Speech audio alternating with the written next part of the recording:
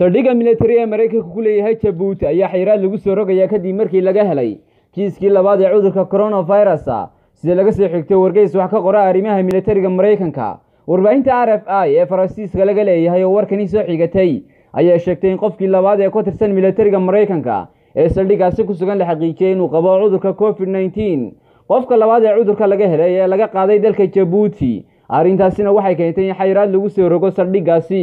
saldhiggani oo bixiya istiraatiijiyadda militari ee guud ahaan bariga afrika. Ayaa dhaqdhaqaaqyadiisa loo xanibaya si loo yareeyo faafitaanka cudurka safmarka ee covid nneteen warbaahinta r f i ayaa intaasi ku dartay in taliska militariga maraykanka uu salaasadii u diyaargaroobayey in xubnaha ka tirsan askarta maraykanka ee halkaasi ku sugan lagu xareeyo meelo ka mida saldhiggaasi. Tallabadan ayaa lagu qeexay mid ku meel gaadha sida uu sheegay afhayeen u hadlay taliska militariga maraykanka oo uu soo xigtay wargeys lagu magacaabo stars and stribes oo ka faalooda arrimaha la xidhiidha militariga. Yaxya caydiid maxamuud yaxinaaji wararka gobonimo